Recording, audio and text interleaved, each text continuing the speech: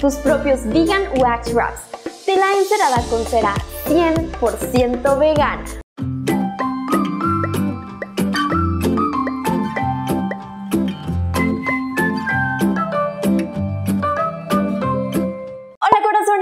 Que estén teniendo un día maravilloso. Yo estoy súper feliz porque hoy tengo para ustedes uno de los videos más pedidos del canal. Si tú me estás viendo por primera vez y aún no me conoces, mi nombre es Mishi. Y si aún no me sigues por Insta y TikTok, te invito a que lo hagas ahora. Esto que estás a punto de aprender a hacer ahora es una maravilla. Probablemente ya has escuchado hablar de los wraps o tela encerada que están hechos con cera de abeja. Si ese es el caso, te voy a contar rapidísimamente porque esos no hay que utilizarlos. La cera de abeja proviene de las abejas. Especialmente la producen las abejas más jóvenes, digamos como que en la parte de aquí, como que en su barriguita. Es una secreción que las abejitas jóvenes tienen y la utilizan para poder construir sus colmenas, es decir, sus casitas. Y si nosotros tomamos su cera para cualquier uso, se las estamos robando. Y las pobres abejitas, ¿con qué van a construir sus colmenas? Corazones eso no está bien. Pero qué suerte que se puede hacer de todo en esta vida sin explotar a los animales, robarles sus insumos o matarlos. Estas telas enceradas funcionan como un sustituto del papel aluminio o del plástico transparente autoadherente papel film o plástico film. No sé cómo se dice exactamente, esa cosa que es basura después. Nosotros somos personas demasiado conscientes como para andar generando basura por ahí que se va a quedar por cientos de años en el planeta. Y también tenemos un corazón muy grande como para hacerle daño a los animalitos. Y por eso estoy segura de que ustedes van a amar esto. Miche, ya no le des más vueltas, ya lo queremos aprender a hacer. Ok, lo que vamos a necesitar es tela, preferentemente de algodón. Si tú eres de las personas a las que les gusta tener cosas encantadoras en la cocina, puedes ir y elegir la tela de 100% algodón con el estampado que más bonito encuentres. Aunque también, si te quieres lucir de ecológico, en lugar de comprar una tela nueva, puedes reutilizar alguna playera, alguna blusa, alguna camiseta que tengas que ya no vas a utilizar, que ya le salieron huequitos. Esa tela puedes cortarla y te sirve para esto. También necesitaremos lápiz o pluma, regla y tijeras, una olla, cucharitas medidoras, un frasco de vidrio que designaremos para esta mezcla. Elige sabiamente el frasco porque el resto de su vida desempeñará la misma función. La mezcla que vamos a hacer es un tanto pegajosa, así que será muy difícil limpiarlo. Este será tu frasco para preparar esta mezcla por siempre. También necesitaremos un palito para mover la mezcla. Asegúrate de que llegue bien al fondo del frasco. Además utilizaremos papel encerado del que sirve para hornear, una plancha que cuando la vayamos a utilizar tienes que asegurarte que su modo de sacar vapor esté apagado. Y si no sabes cómo apagarlo, solo asegúrate de que el tanquecito de agua esté vacío, porque si el papel se moja, será un caos. Para hacer nuestras telas enceradas necesitaremos una superficie sobre la que puedas planchar, o sea que aguante perfectamente bien el calor, pero que se pueda lavar con facilidad. A mí se me ocurrió colocar una bandeja sobre mi estufa y aquí lo voy a hacer. Y para hacer la mezcla de cera vegetal, que es la estrella de esta receta, necesitaremos cera candelilla. Puede ser la refinada que viene en bolitas o la integral que viene en trozos más grandes. Ambas sirven. La cera candelilla la puedes conseguir en alguna tienda de insumos para hacer velas o de insumos para cosmética natural. Además, usaremos resina de pino, también conocida como brea. Brea la utilizan las bailarinas de ballet en la puntita de su zapatilla de punta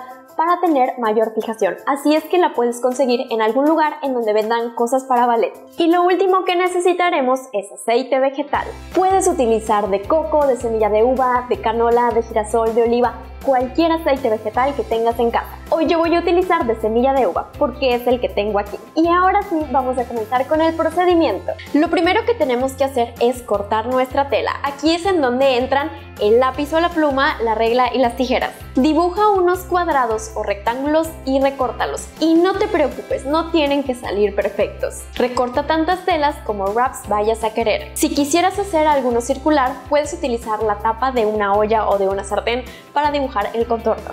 Y si eres de las personas a las que los pelitos que quedan en la orilla de la tela les molesta, no te preocupes, vamos a dejarlo para el final. Cuando nuestros wraps estén ya encerados, será el momento de perfeccionarlos. En el frasco de vidrio colocaremos dos cucharadas de cera candelilla. Añadiremos una cucharada de aceite vegetal, media a una cucharadita de resina de pino o brea. Para que la puedas medir con mayor exactitud en tu cucharita, te recomiendo que pongas alguno de estos cristalitos de brea adentro de una telita o una bolsa de plástico y le des unos golpes con un martillo. Obviamente no hagas esto en el piso adentro de tu casa, puedes salir al patio en donde hay piso de cemento. Y una vez que esté como polvito fino, además se va a derretir más rápido. Llevaremos esto al baño María y lo vamos a dejar hirviendo hasta que todos los ingredientes se hayan derretido por completo. Mientras tanto, todo el tiempo iremos removiendo con el palito para ayudar a que esto se haga más rápido. A la resina de pino le toma un poco más de tiempo derretirse que a todo lo demás. Así es que ten paciencia, aproximadamente este recipiente va a estar al baño María por unos 30 minutos. Y cuando ya tengamos todos nuestros ingredientes perfectamente incorporados y derretidos, es momento de actuar rápido. Bueno, hay dos maneras de hacerlo, pero ambas maneras comienzan igual, así es que vamos a continuar. Sobre la bandeja voy a colocar papel encerado y te recomiendo que pongas dos capas para que la mezcla no vaya a traspasar. Sobre el papel encerado colocaremos nuestra tela que recortamos previamente. Y ahora sí es en donde entra la opción número uno. La mezcla que está derretida se la vamos a colocar por encima. Después vamos a agarrar nuevamente papel encerado que esté en dos capas y lo vamos a hacer como un sándwich. La tela encerada con la cera va a quedar entre las dos capas dobles de papel encerado. Espero haberme dado a entender. Y ahora es momento de planchar.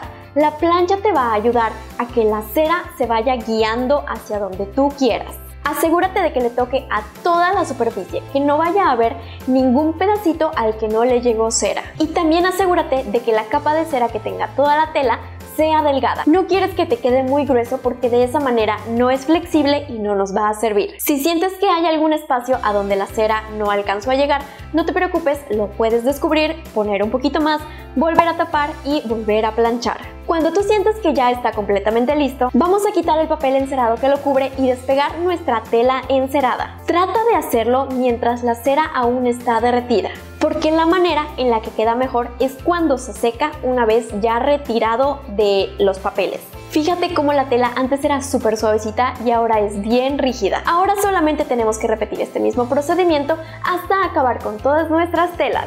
Puedes seguir utilizando el mismo papel de hornear, no es necesario que lo cambies para cada una de las telas que vayas a hacer. Y ahora te voy a contar la opción número 2. Cuando la mezcla de cera con aceite y resina esté completamente derretida, la colocaremos en unos moldes y esperaremos a que se enfríe por completo para obtener unos cubitos de cera especial para wraps. Y cuando ya tengamos nuestros bloquecitos de cera, los puedes colocar sobre una tabla para picar y con un cuchillo hacerlos en pedacitos.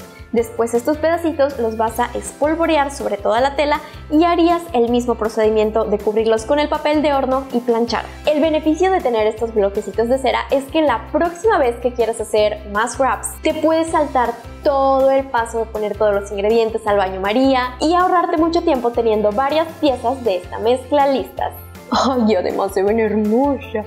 Unos segundos después, nuestras telas estarán completamente secas y frías. Y ahora sí, es el momento de cortar los pelitos que nos quedaron en la orilla. Verás como ahora es muy fácil y te queda una línea completamente rectecita. Si tienes tijeras de las que cortan en zigzag o formitas con curva, también las puedes utilizar.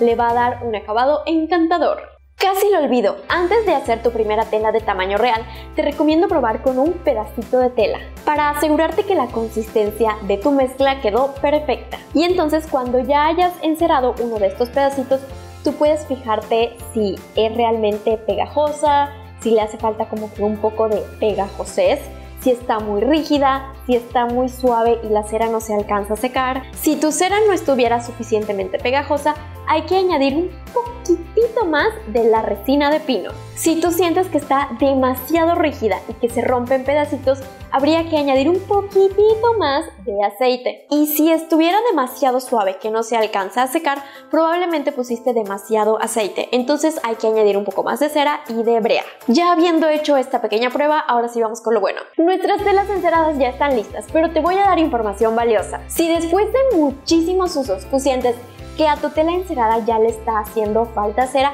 no la tienes que tirar y hacer una nueva. A esta misma la puedes como recurrir, volverle a poner de la mezcla de cera y volverla a planchar. Incluso si no le hace falta cera, si tú sientes que ya está demasiado cuarteada y te gustaría que nuevamente tenga como que su look de nuevo, solamente la pones entre los papeles y planchas. Cuando la vayas a lavar, hazlo con agua fría o agua a temperatura ambiente. Nunca la vayas a lavar con agua hirviendo porque la cera se va a derretir. Puedes utilizarlas tal cual y como utilizarías el papel aluminio o el papel plástico film. Para cubrir directamente los alimentos, para envolverlos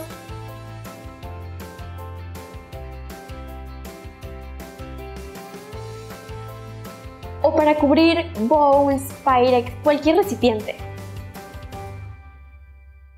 Para asegurarte de que se adhiera de manera correcta, solamente tienes que aplicar un poquito del calor de la palma de tus manos o de tus dedos. Esto ha sido todo por este video, espero que te haya encantado. Si fue así, no olvides darle un merecido like y compartirlo con todo el mundo para que todos puedan ir a hacer sus propias telas enceradas veganas. Déjame un comentario con ideas de qué videos te gustaría ver próximamente. Y si aún no me sigues por Instagram y TikTok, este puede ser un buen momento para hacerlo. También para suscribirte al canal y activar la campanita de las notificaciones. Les mando besos y abrazos veganísimos y ecológicos y nos vemos en el próximo video.